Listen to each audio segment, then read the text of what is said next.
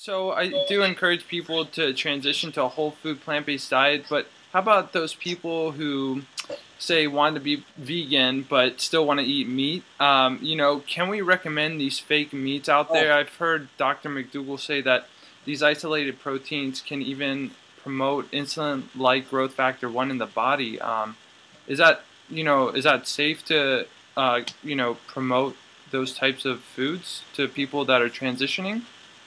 Well, you know, it's important not to let the perfect be the enemy of the good. In other words, it's like, you know, you don't want to have this like you either eat the standard American diet or you eat this perfect whole, Yeah. food, you know, or or you're having a kale salad for lunch. You tell that to people, right? and you're, I mean, it's just people are going to glaze over and think you're crazy, right? Yeah. So these are fantastic transition foods, right? These are the kind of comfort foods that people kind of grow up with. Their taste buds have adapted to. Um, so I think it's great for people to be able to um, move on to these foods and be like, hey, I can eat like I ate before, but all of a sudden my diet has zero cholesterol, which is only found essentially in, in animal foods. Right. No saturated animal fat, much healthier.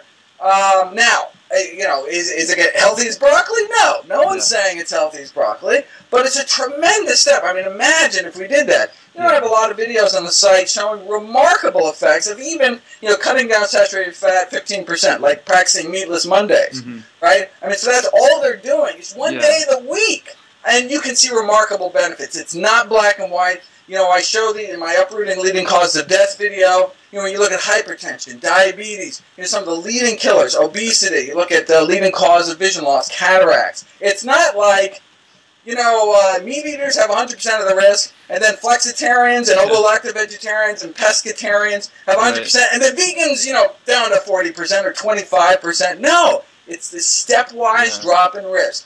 The more and more plant-based one eats, the more benefits accrue. True, to fully maximize, to fully exploit the power of diet, to lower the risk of chronic disease, you really have to do move towards the end of the plant-based spectrum. Yeah. But every step along the way counts. So I think it's fantastic when these new products come out like Beyond Meat and things, people can't even tell the difference. Your body can tell the difference. So all of a sudden you ate something with fiber. All of a sudden you ate something, you know, that didn't have any cholesterol. Um, and so, uh, you know, people aren't going to jump straight to broccoli. And so, you know, I, I just, I, I would hope people don't dead end on those products, right? I want people to continue to move. But in terms of getting them to start the transition, fantastic. I think we need more of them. I think they need to be, you know, how like, you know, soy milk, almond milk is in the dairy case next Yeah. to dairy milk. Yep. Well, there, there should be Beyond Meat in the Yeah. meat case. Like next to chicken Yeah. meat, there's the Beyond Meat, you know, and people can be like, oh, wait a second, it's just as cheap and, you know, it doesn't have any cholesterol. Mhm. Hey, this is great. Right. And I mean, so I think that's a fantastic thing. You know, they're never going to have broccoli in the meat case, Right. right? Um, uh, but so while we still have meat cases, might as have healthier options in there. Yeah, I think that's good advice. Is that it's more of a range of health. You know, you have the the standard American diet and the whole food plant based diet. You know, it's taking those little steps and improving on a daily or you know weekly, monthly basis type of thing. And in fact, you know, there's a lot of studies that I show that literally all they did was add fruits and vegetables to people's diet. Didn't take anything Oh, away. wow. Now, of course, look, if you're going to eat more fruits and vegetables, you're going to eat less of something else. Yeah. And since fruits and vegetables are the healthiest things on the planet, by definition, Yep. you're going to be getting rid of less healthy foods and adding more healthy foods. But some of these remarkable studies, like an improvement in lung function, people with emphysema, was just adding some fruits and vegetables. The dramatic boost in immunity um, uh, seen in older men and women in response to you know pneumonia. Yeah. Um, uh, you know that was just you know you look at the experimental group, it was you know five to seven fruits and vegetables a day versus like three or fewer fruits and vegetables a day. So even just adding healthy foods can Mhm. have a dramatic effect. Part of that is because the wonderful things found in those healthy foods. Part of that is you're displacing less healthy foods. But you know, I kind of like that just psychologically as a physician. When I tell people to add healthy foods, people don't feel deprived.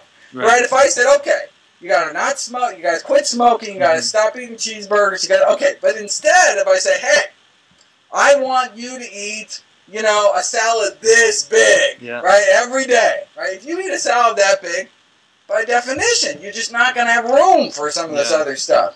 right? And so we start, okay, salad every day. And then we add some more, you know, okay, I want you to eat a sweet potato. All right, now I want you to eat, you know, and by the end of the month, they're like, I don't got room for the Yeah. crap, right? And little do they know, I just transitioned them to a plant-based whole food diet, and, you know, they don't feel, in fact, not only do they not feel deprived, they're like, oh, no more food, oh my God, right?